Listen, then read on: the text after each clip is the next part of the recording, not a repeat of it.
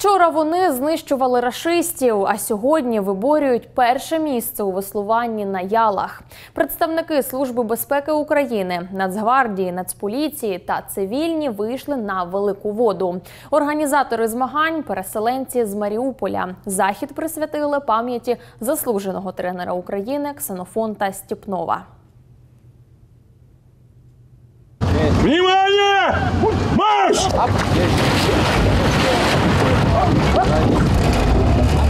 Веслування на ялах один з видів морських багатоборств. Зараз в Україні цей спорт перебуває у занепаді, кажуть організатори змагань. Тож для того, щоб веслування повністю не пішло в небуття, започаткували регати. Проводимо регату.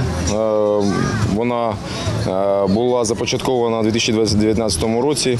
Е, Пам'яті Ксенофонта Степнова. Е, Він е, той, хто для нас зберіг цей вид, спорту.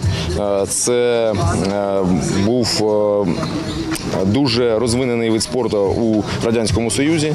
І е, потім вже у незалежній Україні е, не було ні е, виробництва цих ялів, е, ні е, належного фінансування, тому е, дуже було важко зберегти це, але в Маріуполі цей вид е, зберігся завдяки Ксенофонту Ксенофонтовичу. На захід заявилося 12 команд силових відомств, 8 чоловічих та 4 жіночих. Захід має на меті привернути увагу до веслування на ялах та допомогти військовим підтримувати фізичну форму.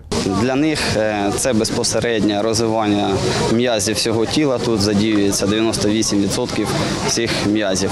Також е, ці змагання надають злагодженість підрозділу на даний час. Е, Це дуже впливає на виконання бойових завдань. Також е, формує бойовий дух і бойову закалку, і командний голос військовослужбовців, які керують в даний час на шлюпках. Дистанція запливу 250 метрів. На старт виходили по 4 команди. Хтось тренувався півтора місяці, а хтось усього два тижні. Змагання були організовані на досить високому рівні.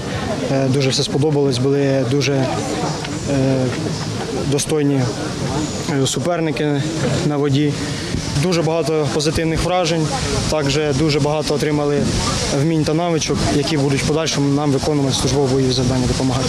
Учасники регати залишилися задоволені, виклалися на всі 100 та покращили свої навички, кажуть спортсмени. Ці 250 метрів ти на всі 110% викладуєшся, і коли тобі вже тренер кричить, що це фініш, і у тебе вже немає сил, а ти повинен цей фініш відробити, і ти вже викладуєшся ще на 10% плюсом, щоб фінішувати.